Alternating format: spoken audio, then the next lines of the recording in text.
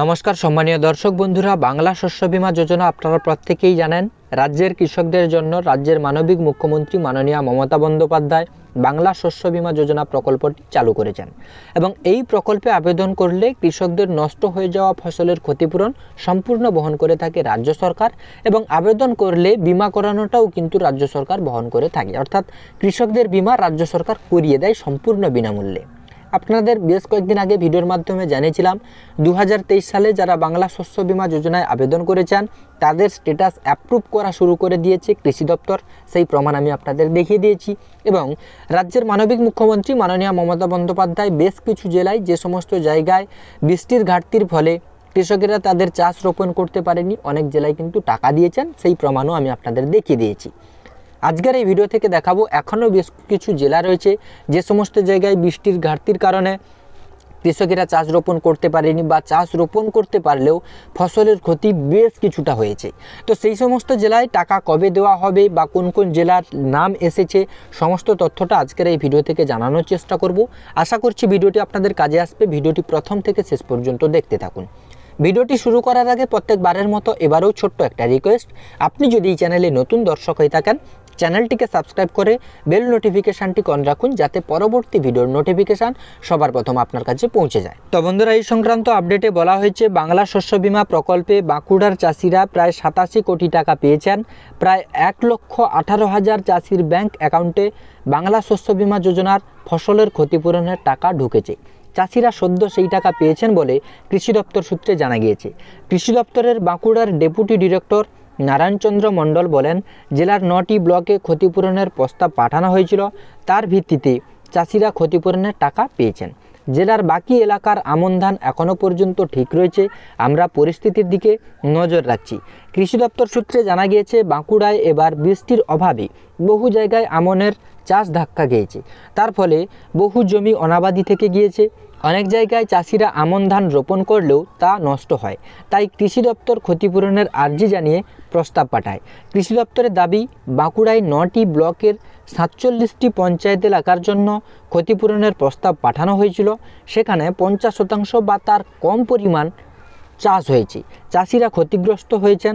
ক্ষতিপূরণ হিসেবে চাষিদের ব্যাংক অ্যাকাউন্টে টাকা ঢুকেছে। অর্থাৎ বাঁকুড়া জেলায় কৃষি দপ্তর থেকে নয়টি ব্লকের সাতচল্লিশটি সাতচল্লিশটি পঞ্চায়েত এলাকার জন্য ক্ষতিপূরণের প্রস্তাব পাঠানো হয়েছিল, যেখানে পঞ্চাশ শতাংশ বা তার কম চাষ হয়েছে। সে কারণে চাষিরা ক্ষতিগ্রস্ত হয়েছে। সেই জন্যই কিন্তু বাংলা শস্য বীমা যোজনার টাকা ক্ষতিগ্রস্ত কৃষকদের অ্যাকাউন্টে ঢুকেছে। বাঁকুড়ায় নয়টি ব্লকের মধ্যে ছাতনা, গঙ্গাজল ঘাটি ইন্দোপুর ও হিড়বাঁধ ব্লকের সব পঞ্চায়েত এলাকার চাষিরা ক্ষতিপূরণের আওতায় এসেছে। এছাড়া বাঁকুড়া দুই মেজিয়া বড়জোড়া, রায়পুর, খাতড়া প্রভৃতি ব্লক এলাকার চাষিদেরও ক্ষতিপূরণ দেওয়া হচ্ছে।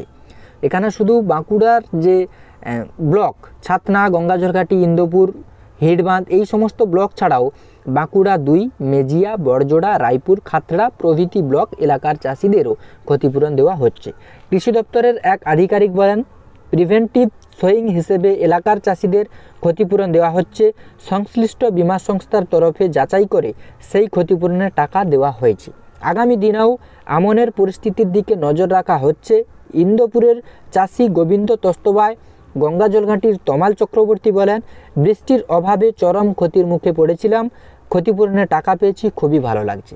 অর্থাৎ বাংলা শস্য বিমা যোজনায় যে সমস্ত জায়গায় বা যে সমস্ত জেলায় বৃষ্টির ঘাটতির কারণে কৃষকেরা তাদের ফসল রোপণ করতে পারেনি বা চাষ করতে পারেনি। সেই সমস্ত জায়গা দেখে ভেরিফাই করার পরে কিন্তু কৃষি দপ্তর আর্জি জানিয়েছিল বিমা সংস্থাগুলোকে এবং তারপরেই সেই সমস্ত জায়গায় কৃষকদের টাকা দেওয়া হলো। যে সমস্ত কৃষক ফসল রোপণ করতে পারেনি বা ফসলের ক্ষতি হয়েছে, ক্ষতিগ্রস্ত কৃষকদের অ্যাকাউন্টে কিন্তু সেই টাকা পাঠানো হয়েছে। তো বন্ধুরা, আশা করছি ভিডিওটিতে আপনাদের বোঝাতে পেরেছি। আমি দেখিয়ে দিলাম, বাংলা শস্য বীমা যোজনায় আবেদনকারীরা যে সমস্ত জায়গায় বৃষ্টির ঘাটতির কারণে কৃষকেরা তাদের চাষ করতে পারেনি বা ফসল রোপণ করতে পারেনি, সেই সমস্ত ক্ষতিগ্রস্ত এলাকায় কৃষকদের ফসলের ক্ষতিপূরণের টাকা দেওয়া হলো। আগেই ভিডিওর মাধ্যমে জানিয়েছিলাম এবং আজকেও কিন্তু কৃষি দপ্তর সূত্রে সেই খবর আমি আপনাদের দিলাম।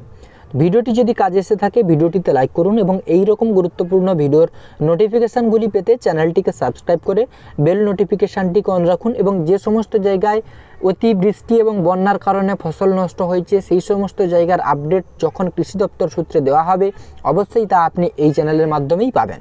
চ্যানেলের সঙ্গে যুক্ত থাকতে চ্যানেলটিকে সাবস্ক্রাইব করে বেল নোটিফিকেশানটিকে অন রাখুন, যাতে পরবর্তী ভিডিওর নোটিফিকেশান সবার প্রথম আপনার কাছে পৌঁছে যায়।